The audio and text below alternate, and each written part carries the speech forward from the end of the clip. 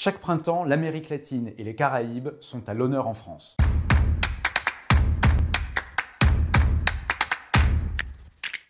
Chaque année, la France met à l'honneur les pays d'Amérique latine et des Caraïbes en organisant la Semaine de l'Amérique latine et des Caraïbes. Jusqu'au 11 juin, plus de 350 événements politiques, économiques, culturels et scientifiques sont organisés partout en France. De Mulhouse, qui consacre un festival au tango, à Fort-de-France, où se tient le premier championnat de breakdance afro-caribéen, en passant par Auch, dont le Musée des Amériques met en avant les civilisations préhispaniques.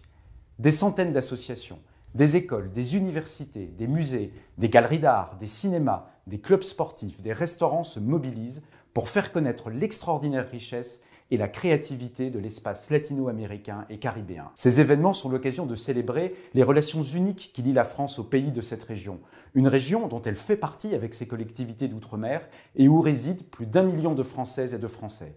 Une région à laquelle elle est intimement liée par l'histoire, la culture, 25 lycées français et 200 alliances françaises s'y trouvent. L'Amérique latine et les Caraïbes forment l'une des régions les plus dynamiques au monde et un partenaire économique essentiel où nos entreprises investissent pour la ville durable, les énergies renouvelables, les transports et infrastructures, l'eau et la santé. Nos partenaires en Amérique latine et Caraïbes sont des pays avec lesquels nous partageons des valeurs de paix, de coopération multilatérale et de négociation.